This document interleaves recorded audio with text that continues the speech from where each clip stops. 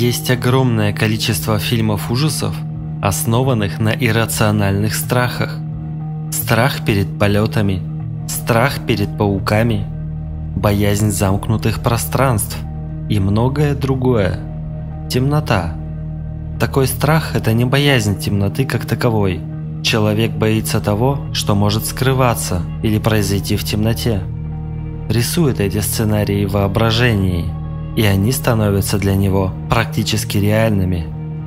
С вами вновь андроид фонда Сейкер. Сегодня я расскажу вам про SCP-689 «Призрак во тьме». Объект номер SCP-689. Класс объекта Кетер. Особые условия содержания. SCP-689 должен содержаться в большой камере из бетона, оборудованной лампами высокой интенсивности на йодиде натрия. Эти лампы должны быть установлены так, чтобы свет был направлен только на SCP-689. Причем объект должен оставаться ярко освещенным все время. По меньшей мере три сотрудника должны все время дежурить в пределах камеры содержания. Двое сотрудников класса D внутри помещения. Один сотрудник уровня 2 или выше вне ее. В комнате оператора. Оператор должен или быть абсолютно слеп, или оснащен специальным шлемом, блокирующим зрение, который нельзя снимать в течение дежурства. Ни при каких обстоятельствах оператор не должен заглядывать в камеру содержания. Сотрудники класса D должны постоянно держать объект в поле зрения. Моргать позволяется в пределах допустимого.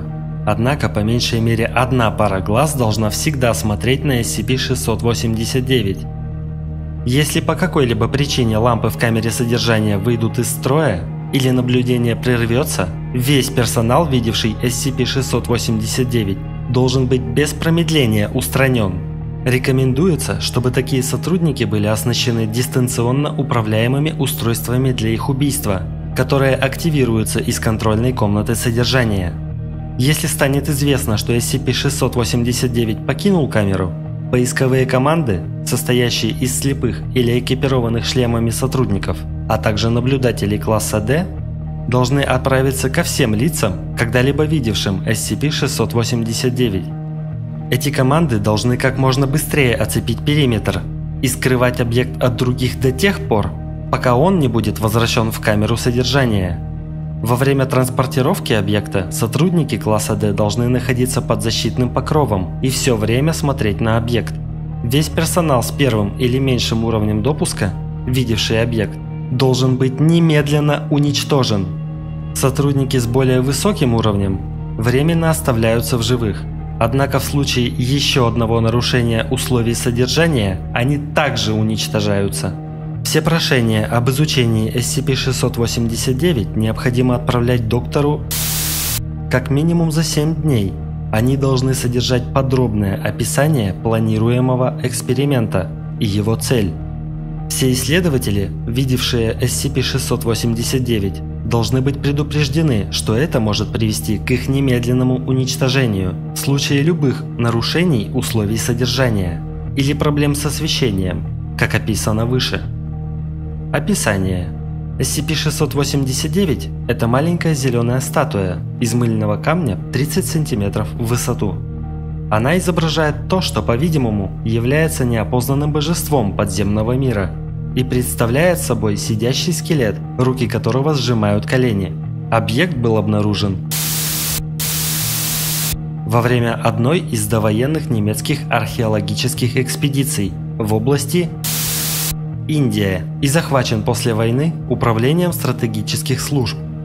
О том, где он находился во время войны, неизвестно. Пока SCP-689 находится под прямым наблюдением как минимум одного человека, он бездействует. Нормальное поведение, такое как моргание, не считается прерыванием наблюдения. Однако, любое отвлечение, даже на один момент, делает наблюдателя уязвимым. Как только на SCP-689 перестают смотреть, он исчезает. Через 15-20 секунд человек, до этого когда-либо видевший объект, мгновенно умирает, а статуя появляется на его останках.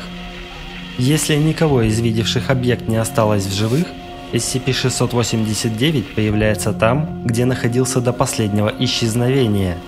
Испытания показали, что эффект не распространяется на животных, но любой человек, который когда-либо смотрел на статую, потенциально уязвим.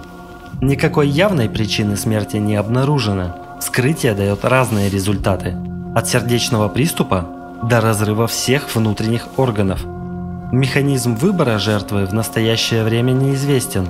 Однако, предпочтение, судя по всему, отдается людям, находившимся в толпе или окруженным большим числом других людей. По-видимому, целях увеличить число видевших статую.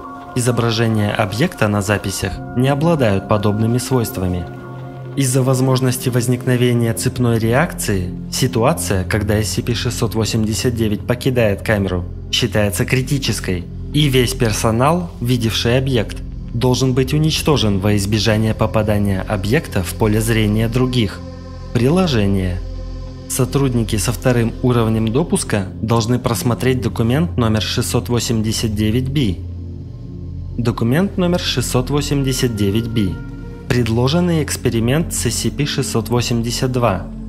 Из-за провала других вариантов и высокого приоритета задачи уничтожения SCP-682, доктора и предложили намеренно поместить SCP-682 перед SCP-689, после чего отключить свет или принять аналогичные меры – Сотрудники, работающие с SCP-689, предупредили, что наблюдение может прерваться, и всех, кто видел статую, необходимо или заранее уничтожить, или поместить в камеру содержания SCP-689, чтобы предотвратить исчезновение объекта. Учитывая то, что статуя выбирает цель случайным образом, Рекомендовано многократное испытание перед тем, как цель войдет в зону поражения. Также персонал SCP-689 советует в любом случае уничтожить сотрудников класса D, чтобы увеличить шансы на успех. Поддерживайте нас, покупая артбуки, SCP-131 и прочее на сайте artscp.com или во Вконтакте во вкладке «Товары». Слушайте нас на множестве площадок и оставляйте свои отзывы. Нет, зачем вам газовая горелка? Нет, не прикасайтесь к моему накопителю! Нет, стойте! Я же не видел статую! Нет!